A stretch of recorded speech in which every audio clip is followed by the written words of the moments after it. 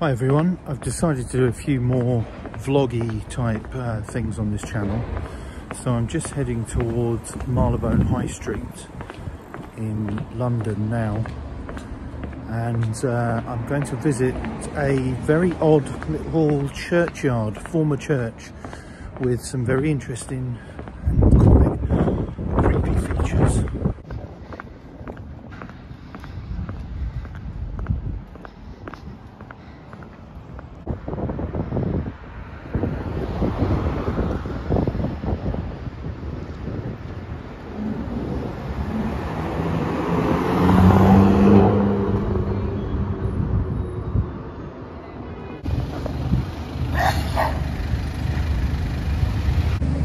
So I'm just on Marylebone High Street now, heading down.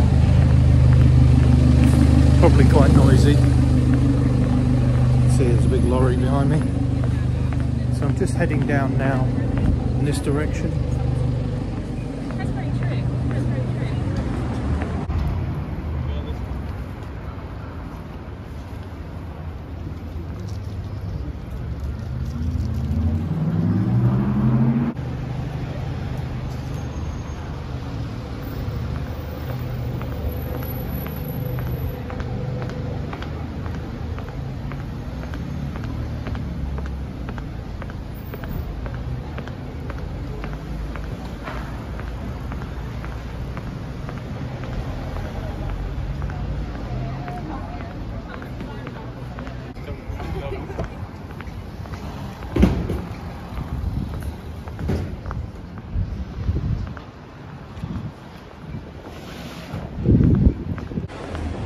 So I'm just arriving at destination now, which is a very odd graveyard.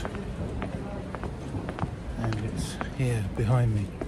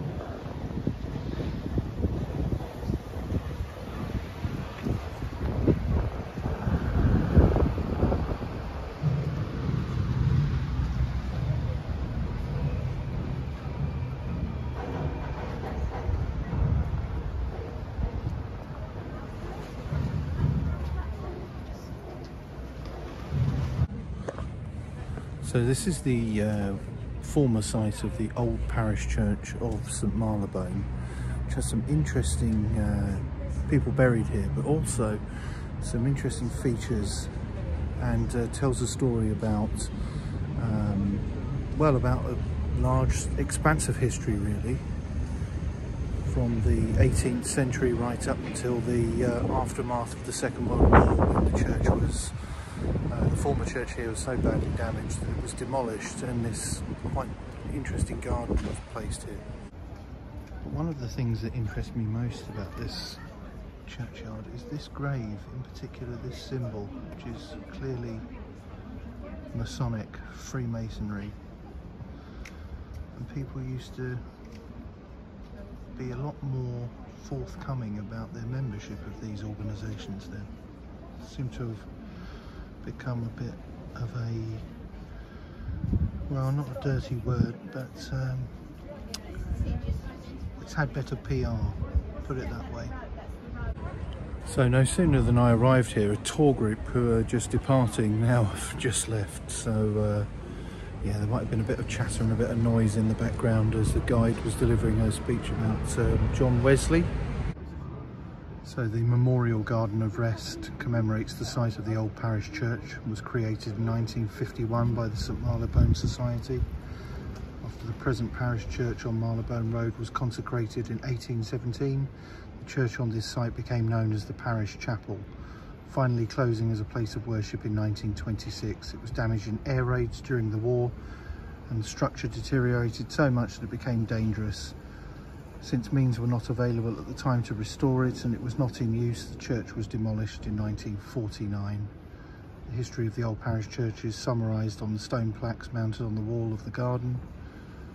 Some of the well-known people connected with the church and its predecessor are also listed there The principal species of tree in this garden include the red Indian bean tree. I'm not going to read the Latin. Judas tree. And I know what that is. Voss's laburnum and wych elm.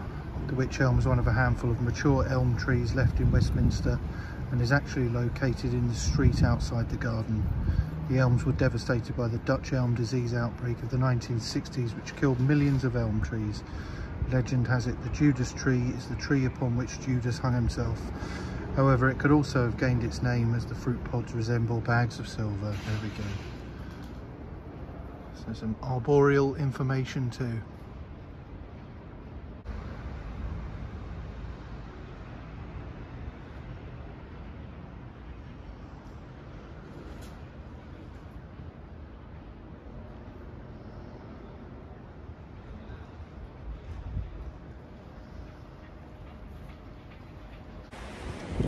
So that's it for this video. Don't forget to like, share, and most importantly subscribe. And as I always say, you can also support the channel on Subscribestar via the link in the description.